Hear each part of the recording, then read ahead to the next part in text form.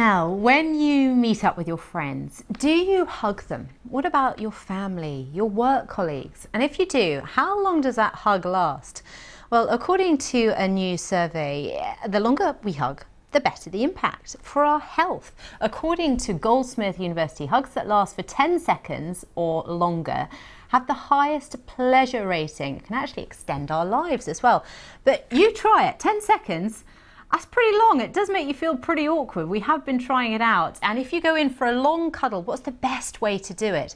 Well, we actually tracked down a cuddling expert in America, Samantha Hess, and she gave me her top tips on how best to hug. And it's fair to say things didn't go completely to plan. Uh, hugging releases oxytocin, which is the bonding hormone, which helps us feel connected to the people around us. Okay, and who benefits more from a hug? Is it is it the hugged or is it the hugger? it's the one that is the most comfortable. Okay, well that's interesting. So if you if you're hugging and and it's an awkward hug, actually you're not getting anything from it. You're not releasing any oxytocin. Well, if you wait long enough, the 20 second mark is how long it takes for positive touch to start releasing that oxytocin. So if it's very awkward, just stay with it. And within 20 seconds, you will start to feel better. Okay, 20 seconds. We, we actually, we tried this out actually um, a little bit earlier um, in a completely COVID compliant way in the office. And even 10 seconds starts yeah. to feel and look really weird. I can understand that. And the, the, the trick for me is to focus on synchronizing your breath with the other person.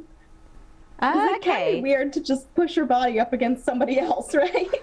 That's awkward. it, it, it is, particularly for, for us British uh, folk. Um, so, Samantha, if I can, what I'm going to do in, uh, is bring in the lovely Carol. Now, for viewers, particularly on BBC One, You'll be very familiar with Carol, won't you?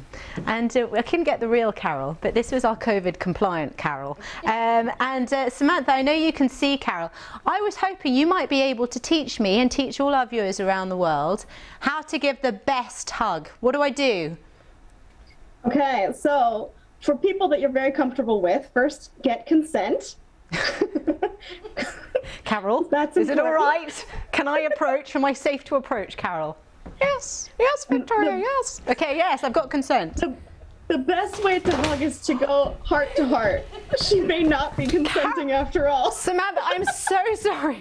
Car Car I floored Carol with my with my touch. I'm just going to bring it back. so excited. Sorry, this didn't this didn't happen when we were practicing. Let me bring it back. that she, was some hug you gave. Give me a second. There we go. Carol, I apologise. Right, we're back. We're back in business. She's still smiling. What a pro. She's good. So I find the best way to hug is heart to heart. So going to the left instead of to the right. Going to the left, right. Okay, okay, yeah. I'm approaching. Yep. I'm approaching, right. Bring your belly button up and press it against the other person. And then you can hug your arms around. I'm now having to straddle the dear Carol. Right, there we go. So arms around. Just get rid of these scripts. I don't need these. Okay, yeah, arms around.